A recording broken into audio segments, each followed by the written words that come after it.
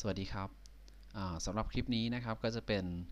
วิธีการเปิดโปรแกรม Microsoft PowerPoint นะครับ การเปิดโปรแกรม Microsoft PowerPoint นะครับ ก็มีหลักๆกก็อยู่ 2 วิธีนะครับ เดี๋ยวเรามาลองดูวิธีแรกกันก่อนนะครับ วิธีแรกเลยนะครับ ก็ให้เราคลิกที่ปุ่ม start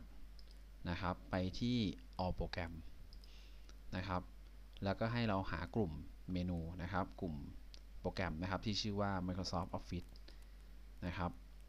แล้วหลังจากนั้นนะครับให้เราหาโปรแกรม Microsoft PowerPoint 2010 นะครับ โดยสัญลักษณ์นะครับก็จะเป็นรูปตัว P นะครับสีส้มนะครับ ก็คือตัวนี้นั่นเองนะครับ คลิกเลยนะครับ ก็จะเป็นการเปิดโปรแกรมนะครับสำหรับอีกวิธีหนึ่งนะครับ ในกรณีที่เครื่องเราลงโปรแกรมไว้เยอะมากเลยนะครับ ก็ให้